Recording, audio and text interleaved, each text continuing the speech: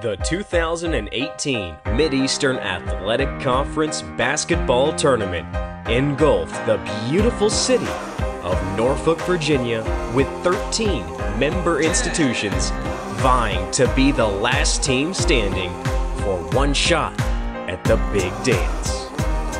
In and around the Scope Arena, the MEAC schools celebrated, served, and put on a show. Recognition. I'm on a mission. I'm paying dues. I'm in position. I'm staying up. It's getting late. You're doing good. I'm doing great. Recognition. I'm on a mission.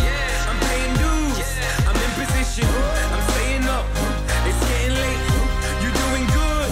I'm doing great. The 2018 MEAC tourney kicked off at the Salvation Army's Ray and Joan Kroc Corps Community Center for the MEAC Basketball Youth Clinic.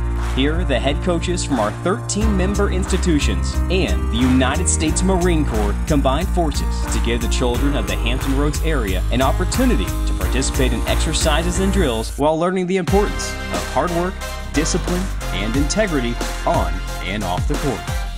Day one and two of the MEAC basketball tournament's opening round tipped off with 10 games featuring non-stop action and a competitive aura inside the Norfolk Scope Arena. The excitement didn't end there. On day two, the MEAC partnered with TowneBank and Norfolk Public Schools to honor Crossroads Elementary School for winning the 10th annual Read with MEAC competition. As a reward, the students celebrated with MEAC student athletes, cheerleaders, and mascots with a party at the school. And the school also received a $2,000 check for leading the competition and making a commitment to academics through reading. Day 3, and the energy is still flowing, with the beginning of the quarterfinal round and the ever present drive from the players on the floor. Off the court, high school students were given the opportunity to interact with our 13 institutions, corporate partners, and city officials at the 2018 MEAC College Fair inside the Scope Arena Exhibition Hall. The quarterfinals and day four brought out intense emotions as teams battled to move on to the next round. That same emotional energy was felt at the 2018 Hall of Fame brunch. The five inductees were introduced as the 2018 class. The pressure is on during day five in the semifinal round of the tournament as only four teams will remain once the final buzzer sounds. New to the tournament this year was the Marine Corps Battles Won Symposium.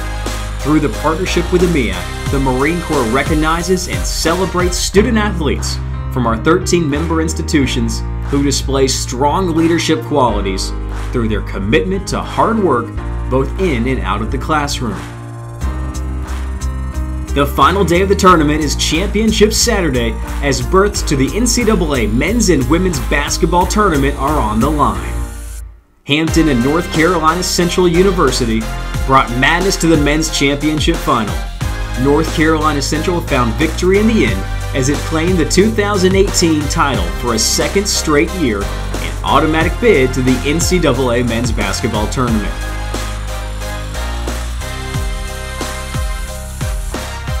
For the women, North Carolina A&T State and Hampton University went head-to-head for the crown.